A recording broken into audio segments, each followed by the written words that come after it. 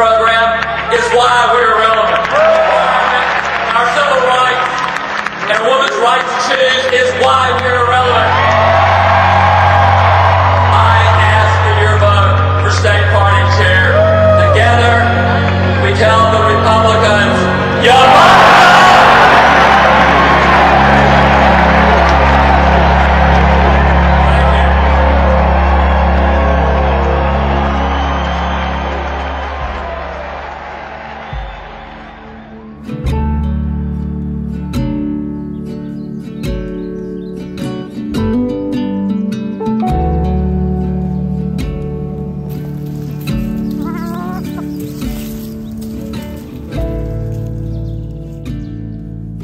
Knew I was different.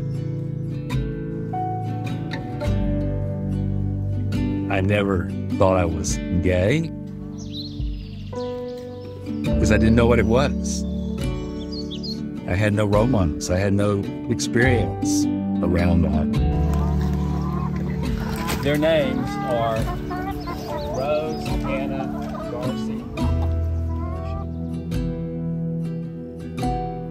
I grew up in a Texas working class family. My family all came to the Houston area to Baytown after World War II. My dad, he was always uh, a man of few words. I wasn't close to him, but we never had any problems. My dad worked his whole life for basically a minimum wage kind of job, at working in a lumber yard. He was more into hunting, fishing, and I was more of the bookworm, stay at home. He died uh, heart attack in 1984. My brother was a meat wrapper in a grocery store. I remember going to a union meeting with my mom where they were settling a contract, and the contract was about pay raise, and all the meat wrappers were getting 25 cents an hour pay raise, and all the butchers were getting a dollar. I remember the union guys saying, you know, this is the best we're ever going to get. And my mother, she brought the women to vote down the union contract to go out on strike. I asked my mom, I said, you know, why did you do that? She said, well, Glen, only the squeaky wheel ever gets the goods. My mother was always the one who would say, you know, you got to stand up, you got to fight back, you know, you got to speak out. If you don't do it, nobody else is going to. That was sort of the beginning of the activism.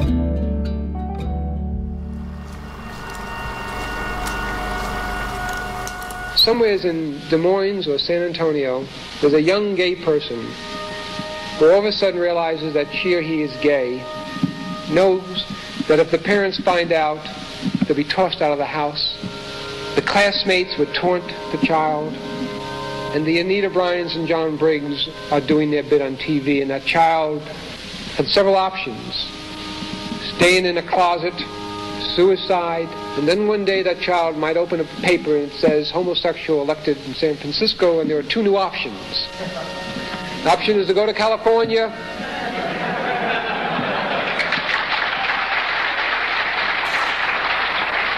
Stay in San Antonio and fight.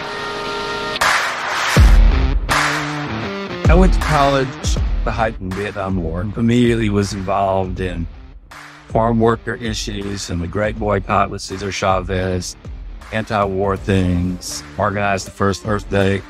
I was paying attention to gay issues. In Houston, Texas, KPFT operates at 90.1 FM. I did find Pacifica Radio, alternative radio out of Houston. They had gay programming. Along the Gulf Freeway is the sounds of modern American music. The first political thing that I followed in gay politics was Harvey Milk's election.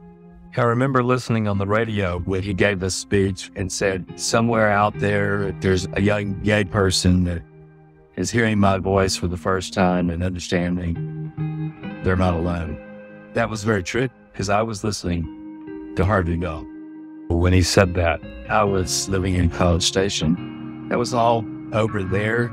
Certainly not something I was going to deal with. And like most closeted gay men at that point in time, I'd come to be accepting in myself.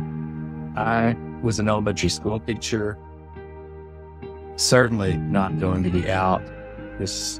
You're immediately fired and would never be hired again. My relationships were all fleeting. Let's just say less than fulfilling because there weren't any friendships. I didn't have gay friends. You were deathly scared of being found out. Most all of my interaction was so far. By the time we get to the 1980s, still teaching in Navasota, and I help a young man named Kent Caperton run for the state senate. He gets elected. I decide when I want to come to Austin. Austin, Texas, a dynamic city long known for its quality of life and scenic beauty, is today the fastest growing metropolis in the South and Southwest United States. Austin was the nirvana, both politically and I found the gay community. I found bars on 4th Street, the Waterloo Counseling Center. They had a group therapy for men thinking about coming out. And so all of a sudden, I was now out to people that I became friends with. I decided to run for the legislature and ran conventional campaign, but I got 38% of the vote. And from that, got invited by Senator Oscar Mauzy to work for him in the 1983 legislative session. And by that point, it was like, okay, I'm permanently now to live in Austin. Wasn't until 1985 when hits uh, the gay plague. has become an epidemic unprecedented in the history of American medicine. That today from the Center for Disease Control in Atlanta, topping the list of likely victims are male homosexuals who have many partners and drug users who inject themselves with needles. Medical experts say the disease kills four out of every 10 people it strikes and that it threatens to explode in the nation's cities. There were some men in Austin who had AIDS. And I learned in Waterloo Counseling we're creating an organization called the Austin AIDS Project, and they wanted volunteers. So I immediately said, I no to do this. So I went through a training, and the project was called the Buddy Program. And you were given the name of somebody who had HIV and knocked on their door, said, I'm here to be your buddy, to help you out you know, through these last days. They typically were going to die in a matter of weeks or months. But the discrimination, people got sick, they lost their job, they lost their insurance, they got kicked out of their house. No state agency, no local agencies would see them. From where I'm sitting, I'm working at the legislature, and it was like, there are all these programs. There are disability. People should be able to get disability. And of course, I found out immediately that to get disability, you had to do an in person interview but no Social Security people would do an in person interview because they thought you would get it. And so I remember taking my guy, him in a wheelchair, sitting on the curb, I standing in the door of the Social Security office. We're going to do an interview. I'm going to stand right here in the door. You ask the question, I'll relay it out to him. He can answer it. I'll repeat it back to you.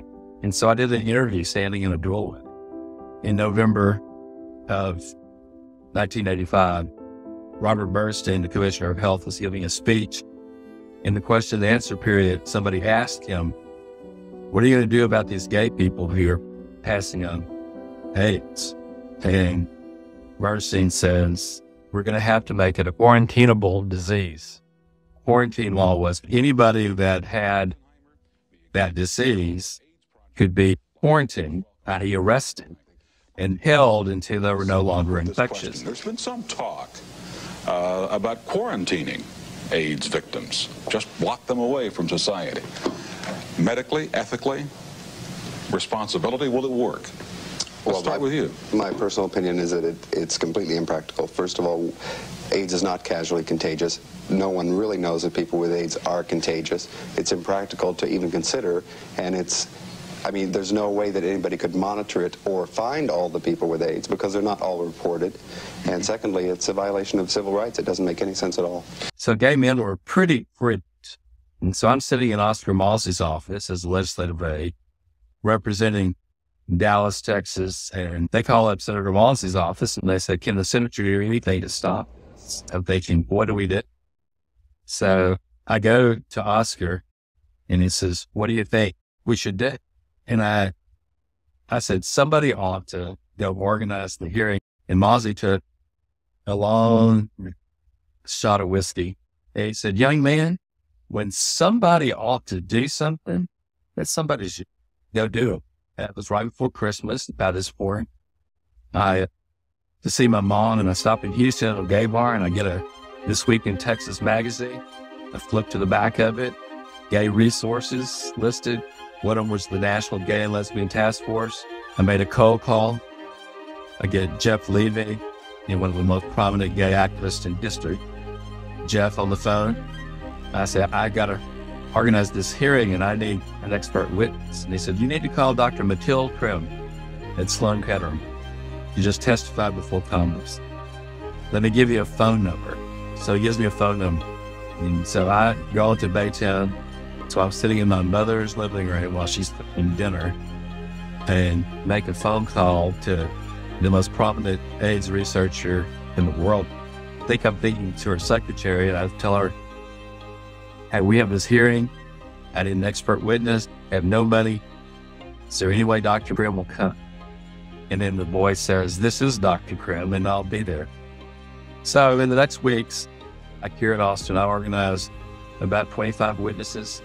The hearing comes off. Senator Mauzy's worked with the governor, getting the members of the Board of Health to postpone the AIDS quarantine issue.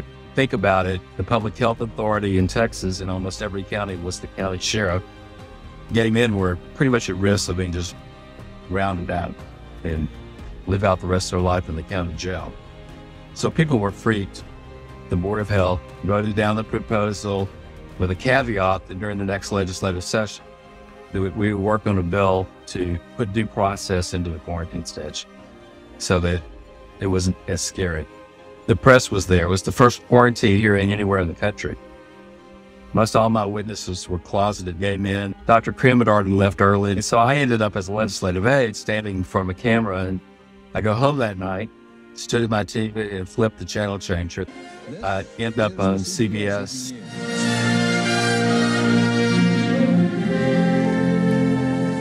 Good evening. Dan Rather reporting. When Dan Rather announces AIDS quarantine in Texas, and there's a picture of me on the national TV machine. To this day, I have no idea what I said.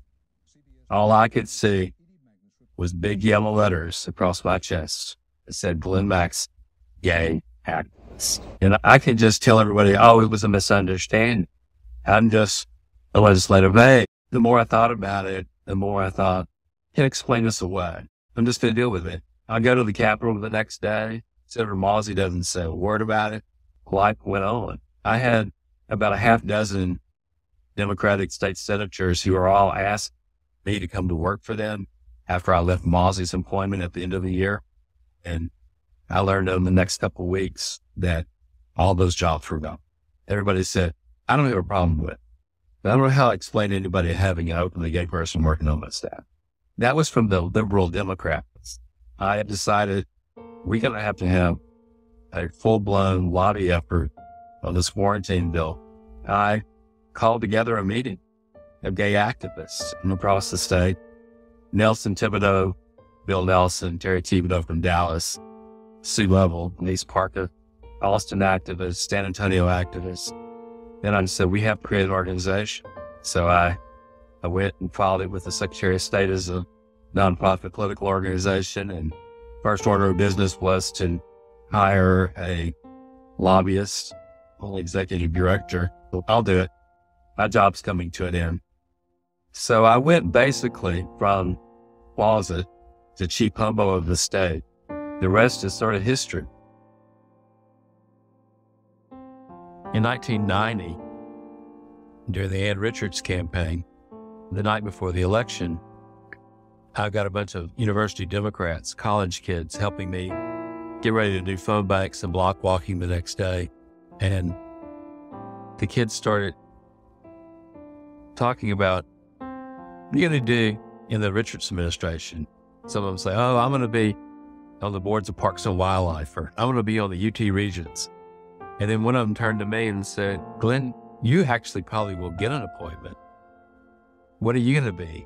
And I said, um, I think if Ann Richards wins, she's going to appoint Lena Guerrero to her administration, and so I'm going to run for her seat. The next day, we go through election day. Richards gets elected. But the next morning, after the election, back at the headquarters, every activist, lobbyist, person was showing up to kiss the ring of the future governor.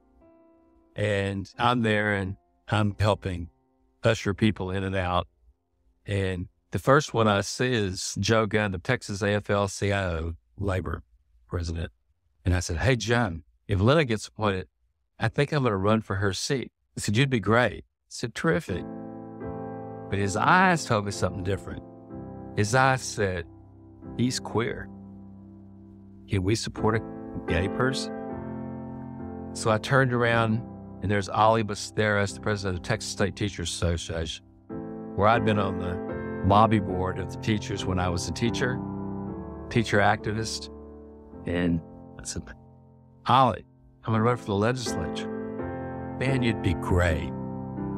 The same thing. The body language was, oh, crap. I did that all morning long. By the end of the day, I thought, I'm going to file just to put these people on notice to see what they'll do with somebody that's openly gay, totally qualified, they want to admit it. One of the best people that they can have for the legislature. So a couple days later, I go in to see Ann Richards. And I say, Anna, I think I'm going to run for Lena's seat. She looked at me. She said, Oh, Glen. No.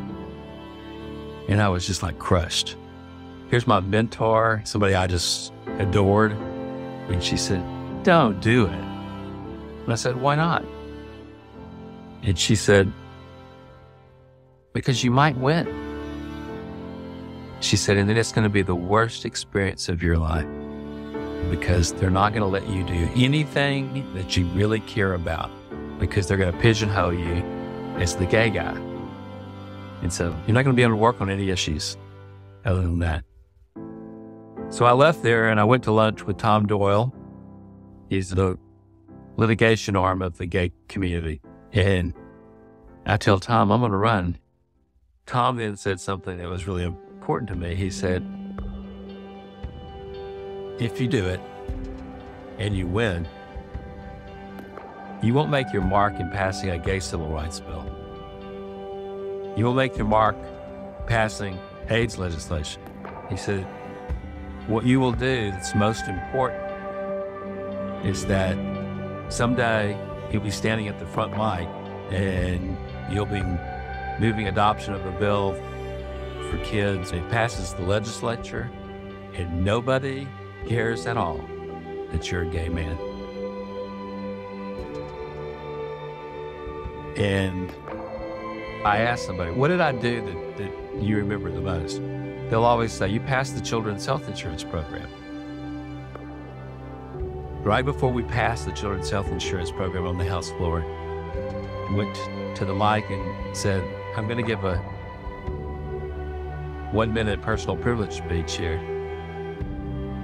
I just wanted everybody to know that this is the most important thing that I'll ever do for the gay and lesbian community when we passed this bill. And it passed and my orientation had nothing to do with it. And i guess the most important thing of all things i've done in my career i was at the houston gay pride and just sitting there and all of a sudden i look over and there's this kid maybe 13 14 years old. He said are you glen maxey? And i said yeah. And he's cool I want to grow up and be just like you.